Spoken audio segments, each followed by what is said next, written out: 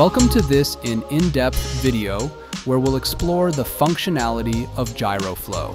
GyroFlow is a revolutionary video stabilization application that uses the gyroscope data. Cameras like GoPro or DJI automatically embed this gyroscope data into the video file. Just drag and drop your video into GyroFlow, and that's it. Your video is seamlessly stabilized. Now, you might be wondering about all these settings we see. The interface might seem a bit overwhelming at first, but there are actually just a few key areas we need to focus on. There are essentially four main setting blocks. The first one, synchronization, can generally be ignored since our video is already synced with the gyroscope points. If you do encounter any stabilization errors, you might want to retry the auto sync. Moving on to stabilization. For field of view, you can leave it at 1 if you don't want to over zoom or avoid strange black edges.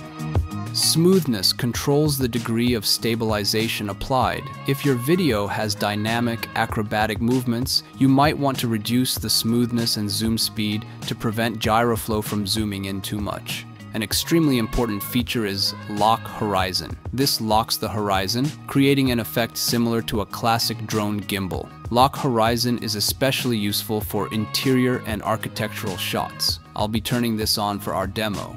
The rest of the settings can be left at their defaults. Then we have export settings.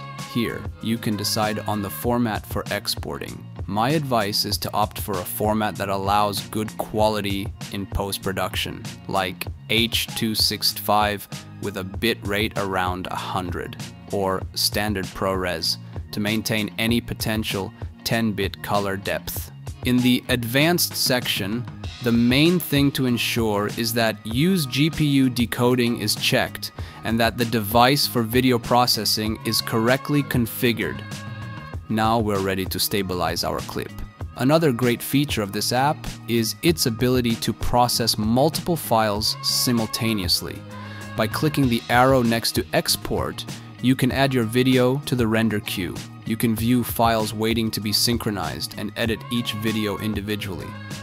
Plus, you can apply the adjusted settings to all items in the queue.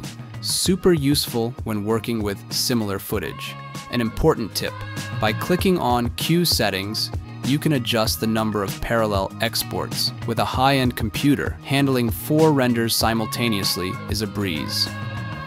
I hope you found this video helpful. If you liked it, please hit the like button and consider subscribing to my channel for more useful tips and tutorials. Ciao!